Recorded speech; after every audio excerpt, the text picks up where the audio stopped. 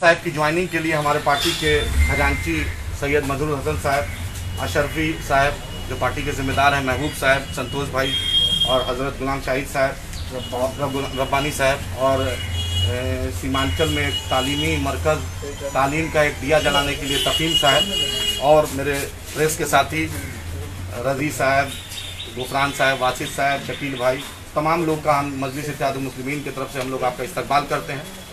और रियासती सदर का हम लोग शुक्रगुजार हैं कि वो आए और अपना कीमती वक्त उन्होंने दिया। और हसन जावेद साहब एक चर्चित चेहरा है सीमांचल के, बहादुरगंज में उसके रहने वाले हैं। और खबर सीमांचल एक ऐसा मीडियम है जो लोगों के बीच संवाद पहुंचाता है। फेसबुक और यूट्यूब चैनल्स के माध्यम से आप लोग जानते हैं संघर्षशील हैं, नौजवान हैं, युवा हैं, ऊर्जावान हैं। तो रियासती सदर साहब की इजाज़त से हसन जावेद साहब की ज्वाइनिंग आज मजलिस इत्याद मुस्लिमीन की रुकनीत ले रहे हैं। तो हसन जावेद साहब का मजलिस इत्याद मुस्लिमीन में इस्तकबाल है और मैं चाहूँगा कि अपने रियासती सदर जनाब अख्तरमान साहब से गुजारिश है कि सर हसन जावेद साहब को रुकनीत दिया जाए।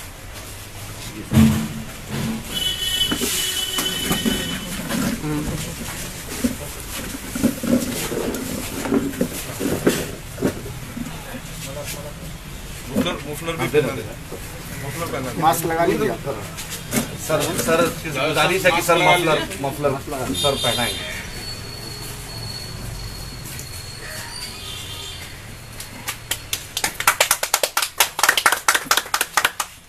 बहुत बहुत मुबारक हो सर। सभी लोगों का शुक्रगुजार है कि आपने अपना कीमती कर।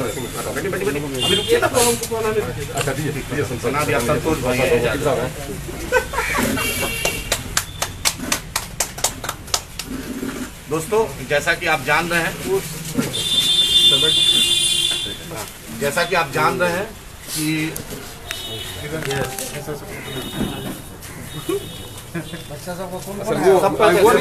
बहुत मुश्किल से हम सवेरे विवाह है तब वो दुकान बंद हुआ। देखिए दोस्तों देखिए कोई भी पार्टी पार्टी डिसिप्लिन से चलती है और डिसिप्लिन पार्टी का बुनियाद है। कोरोना है प्रेस वाला कैसा हम लोग पे इसलिए हम लोग एहतियात बरत रहे हैं नहीं तो हसन जावेद साहब की ज्वाइनिंग और भव करते और अच्छा करते लेकिन थोड़ा सा सोशल डिस्टेंसिंग और भीड़ का जो एहतियात हम लोग पालन करने वाले हैं मजलिस इत्याद मुस्लिमीन का ये मकसद भी रहता है कि हम सेहत रहेगा तभी पार्टी रहेगी तभी आप लोग रहिएगा तब सब लोग रहेंगे। उनके साथ दो मज़बूत कारकुन भी जुड़ना चाह रहे हैं जो भी सामाजिक कार्यकर्ता हैं। कौसर आलम साहब हैं और, और जिशान फरीदी साहब हैं। तो मैं कौसर आलम साहब को गुजारिश कर रहा हूँ कि आके रुकनीत लें। मैं अपने पार्टी के खजांची और पार्टी के मज़बूत मजलिस इत्याद मुस्लिमीन के फाउंडिंग मेंबर में से सैयद मजरूर हसन साहब से गुजारिश कर रहे हैं कि सर उनको रुकनीत दें सैयद मजरूर हसन साहब।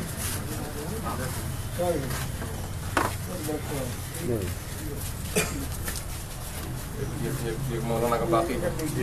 एक मसला और लिया बाबू। ये बहुत बहुत आपका भी इस्तकबाल है मजलिस इत्याद मुस्लिमीन में।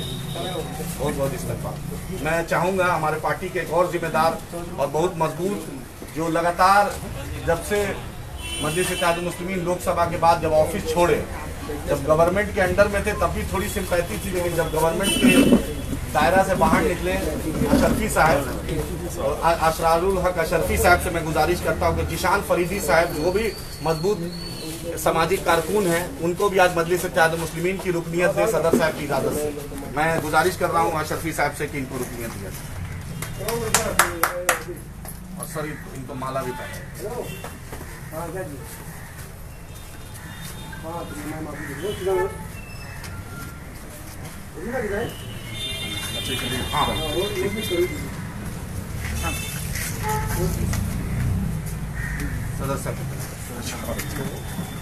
सदर साहब की भी दुआ ले लीजिए और वो भी साहब एक और है। कौन सा है आइए आइए अभी सदर साहब साहब के हाथ से फरीदी साहब। फरीदी साहब। ये आप लोग की अमानत है भाई? ये आपकी अमानत हो गई it is your property it is your property now ले लीजिए आपकी प्रॉपर्टी लीजिए। मतलब साहब इसको करा लीजिए अब ये मजलिसी परचम है। बहुत ही मुबारक परचम है।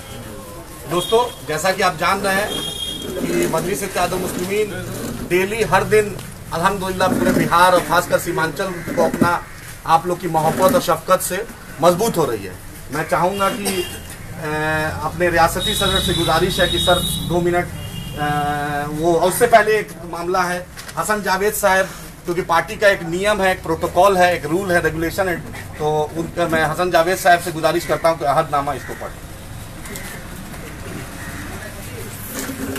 मैं हसन जावेद पिता हरीफ अहमद ग्राम काशीवाड़ी बलिया थाना कोचा रमन किशनगंज विधानसभा क्षेत्र बावन बहादुरगंज आज दिनांक इक्कीस जुलाई बीस सौ बीस को एआईएम बिहार की सदस्यता ग्रहण करते हुए शपथ पूर्वक इकरार करता हूँ के एक मिनट विधानसभा बाद में कर सकते हैं हम लिखे थे अच्छा हाँ तो ठीक ठीक हुआ। जो आपका नंबर आपका वोटर लिस्ट में जहाँ नाम है वहाँ नाम है तो कोई बात आज से मैं पूरी मेहनत और ईमानदारी से पार्टी के लिए समर्पित रहूँगा। मैं पार्टी के सिद्धांत का आदर, सम्मान और पालन करूँगा। विधानसभा एवं लोकसभा के लिए यदि मैं प्रत्याशी बनना चाहा या पार्टी द्वारा मुझे उम्मीदवार बनाया जाए तो मैं निष्ठापूर्वक चुनाव लड़ूँगा और जीत गया तो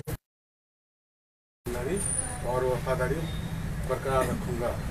यदि मेरे द्वारा या क्षेत्रवासियों के द्वारा मुझे प्रत्याशी बनाने का दबाव के उपरांत यदि A I M I M party ने मुझे प्रत्याशी नहीं बनाया तो ऐसी परिस्थिति में पार्टी के फैसले का सम्मान करूँगा। किसी प्रकार का विद्रोह या बगावत पर कर निर्दलीय अथवा किसी अन्य राजनीतिक दल के टिकट पर चुनाव नहीं लड़ूँगा बल्कि पार्टी के एक सिपाही की हैसियत से अपने पार्टी के प्रत्याशी का समर्थन एवं सहयोग करूँगा। मैं अपनी राजनीतिक गतिविधि में भारतीय संविधान सामाजिक सौहार्द एवं अपनी पार्टी के सिद्धांत एवं आदेश का निर्वहन करूँगा। बहुत बहुत मैं चाहूँगा कि अपने रियासती सदर जनाब अख्तर ईमान साहब से गुजारी है सर इस ज्वाइनिंग के मौके में कुछ अपनी बात सर